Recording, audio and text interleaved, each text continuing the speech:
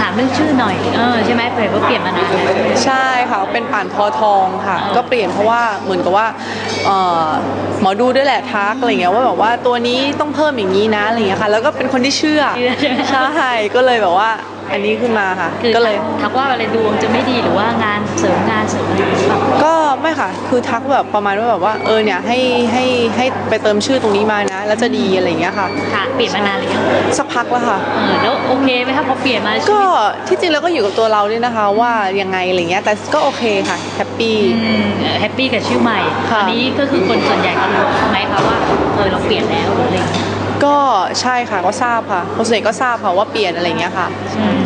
แล้วคุณพ่อได้ปรึกษาคุณพ่ออะไรไหมคะเวลาเปลี่ยนอะไรหรือคุณก็พ่อไปด้วยก็ คุณพ่อคุณแม่ทราบค่ะ ก็คือเหมือนช่วยๆกันเลือกตั้งอะไรเงี้ยค่ะ แล้วก็แล้วก็ถึงจะมาเป็นชื่อหนู